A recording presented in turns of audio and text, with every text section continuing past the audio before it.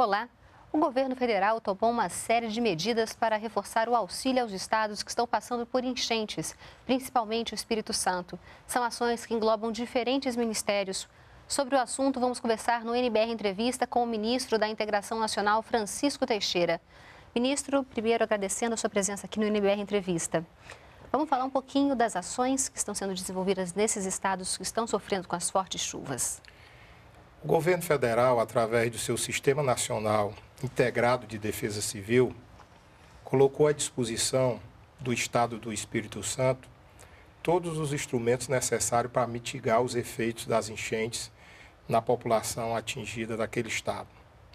É, nós estamos lá com tropas do Exército, com cerca de 10 patrulhas mecanizadas para facilitar a comunicação das populações que estão ilhadas e levando também mantimentos para essas, essas populações. Nós estamos disponibilizando aí milhares de kits, kits dormitório, kits higiene, kits limpeza, para poder é, abastecer essas populações que estão em abrigos públicos. É, mais de 3 mil cestas básicas já foram disponibilizadas pela Secretaria Nacional de Defesa Civil. Geólogos da CPRM Aí oito geólogos foram também disponibilizados para assessorar a Defesa Civil Estadual e as defesas municipais para poder é, definir a retirada ou não de populações de áreas de risco. Ou seja, tudo aquilo é, é dentro do que a tecnologia e, e, e dentro de, de que a nossa Defesa Civil tem disponível está sendo alocado ao Estado do Espírito Santo. E não só o Ministério da Integração Nacional está trabalhando, mas outros ministérios se envolveram também nesse processo. Hoje, o Sistema Nacional de Defesa Civil ele é composto por diversos ministérios, ministérios e diversas entidades ligadas a esse ministério. Nós temos, por exemplo, lá o apoio do Ministério da Defesa, através de forças do Exército Brasileiro, helicópteros da Marinha e da Aeronáutica. Nós temos o Ministério da Saúde com a Força Nacional do SUS. Nós temos, temos o Ministério da Justiça, com a Força Nacional de Segurança, onde 72 é, militares, bombeiros estão lá ajudando também essas populações. Nós temos, como eu já falei, a CPRM, que é ligada ao Ministério de Minas e Energia, que é o Serviço Geológico Brasileiro, fazendo o um mapeamento geológico das áreas de risco. Temos aí os alertas e o monitoramento do tempo e do clima que são dados pelo Senad, ligado à Secretaria Nacional de Defesa Civil, do Ministério da Integração, e pelo SEMADEM, que é ligado ao Ministério de Ciência e Tecnologia. Ou seja, o Sistema Nacional de Defesa Civil engloba os mais diversos órgãos é, da República que pode contribuir para mitigar os impactos desses desastres nas populações locais. O senhor já falou um pouquinho, como é que é esse monitoramento nas áreas mais afetadas? Hoje nós, nós temos basicamente dois centros de monitoramento de risco e resposta a desastres. Nós temos o CEMADEM, que é ligado ao Ministério de Ciência e Tecnologia. O CEMADEM ele recebe os dados de previsão climática, ou seja, o CEMADEM sabe é, quando vai chover, o quanto pode chover é, em determinadas regiões. O CEMADEM passa esses dados, essas informações para o SENAD, que é ligada ao Ministério da Integração Nacional. E o Senad emite os alertas para as defesas civis estaduais e municipais é, sobre os municípios, as regiões que poderão ser impactadas com as chuvas.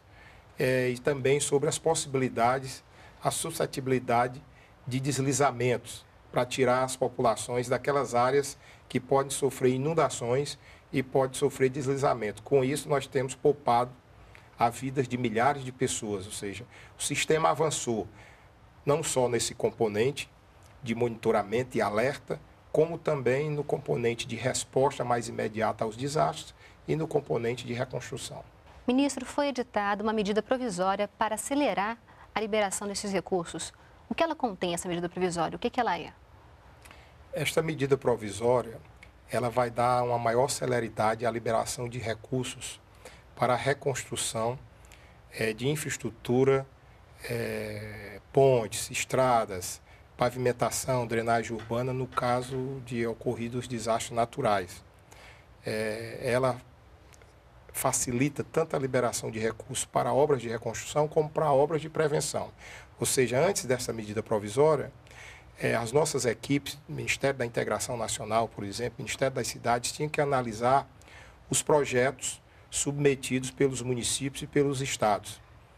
É, com essa medida provisória, basta o município ou o estado apresentar um plano de trabalho que é analisado de forma mais rápida e mais célere pelos técnicos do Ministério da Integração Nacional, o Ministério das Cidades ou outros ministérios que contribuam pra, para as obras de prevenção e reconstrução. E desta forma, é, as obras serão feitas num tempo menor, permitindo a liberação de recursos de uma forma mais imediata e a fiscalização dessas obras, como também a análise dos projetos, serão feitas de forma concomitante, não impedindo assim a liberação dos recursos de forma mais célere. Isso para a cidade do Espírito Santo somente ou vão atingir outras? Não, isso vale para todo o território brasileiro, para todas, e não só para os desastres derivados de enchentes, churradas, deslizamento, como também para a região afetada com a seca. Por exemplo, no Nordeste brasileiro, essa medida provisória vai contribuir para a liberação mais rápida das obras de prevenção para poder a, as populações serem menos afetadas no, nas secas futuras. Prevenção e reconstrução, então, o que prevê? É, facilita basicamente as obras de prevenção e as obras de reconstrução. A prevenção é antes e até para evitar o desastre, né? E a reconstrução após os desastres porque as ações mais imediatas de socorro e assistência, essas já eram feitas de forma bem célere. Existe também o cartão da Defesa Civil. Qual a diferença dele agora para essa medida? Não, o cartão da Defesa Civil, ele não muda basicamente com essa é, medida provisória, porque ele, através dele, são repassados recursos para a resposta ao desastre, ou seja, aquele recurso mais imediato para o socorro e assistência às populações. Então, ele já era é, um instrumento desburocratizado e é um instrumento muito eficiente, porque a Defesa Civil Municipal ou, a, ou o representante da Defesa Civil do Estado vai numa agência do Banco do Brasil, aquela agência já está lá preparada para emitir o cartão de defesa civil de forma imediata. E no caso do desastre, o dinheiro para a resposta mais imediata ao desastre, recursos para a compra de itens de primeira necessidade, compra de água, cesta básica, é, recursos para limpeza né, de, de, de, de, de ruas, né, repor ali o trânsito, o tráfego ali de forma mais imediata, mesmo paliativa, é, restabelecer o serviço de abastecimento, tudo isso pode ser feito de forma imediata com os recursos que são repassados para o cartão da Defesa Civil. Quem tem direito a esse cartão? Esse cartão ele é, ele é retirado pela Defesa Civil Municipal ou Defesa Civil Estadual nas agências do Banco do Brasil, ou seja, ele deve ser manuseado pelo coordenador da Defesa Civil no Estado ou no município e poderá, como eu falei, receber de forma imediata os recursos que são repassados pela Defesa Civil Nacional. E como é que o governo avalia os, enchentes, as enchentes desse ano, os acidentes estão acontecendo esse ano com os do ano passado, após as ações de prevenção que estão Olha, ocorrendo? O que a gente percebe, embora é, tendo ainda vítimas né, no Espírito Santo, em Lagedinho, na Bahia, é que a nossa defesa civil, o nosso Sistema Nacional de Defesa Civil avançou muito, principalmente no que se refere à previsão dos desastres.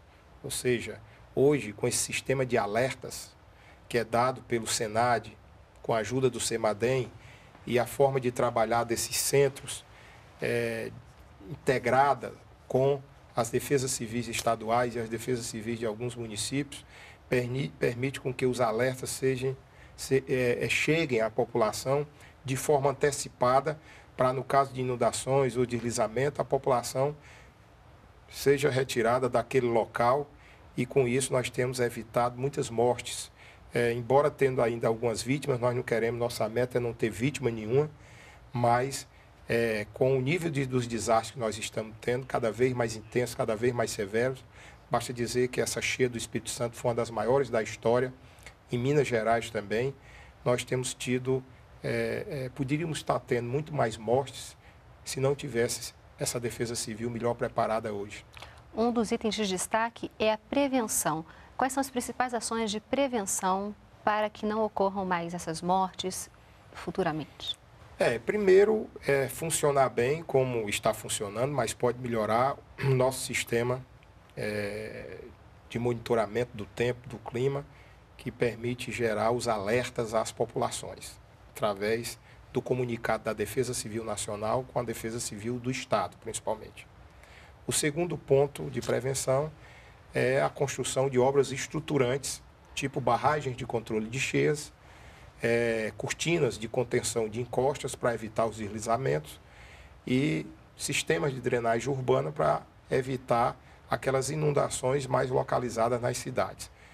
É, e também um componente de moradia, que é para tirar as populações da área de risco e ir para terrenos mais seguros, ou seja, construir conjuntos habitacionais em áreas mais propícias, né, em áreas que não sejam sujeitas ao deslizamento ou inundações. Todos esses componentes eles estão sendo trabalhados em algumas regiões do Brasil.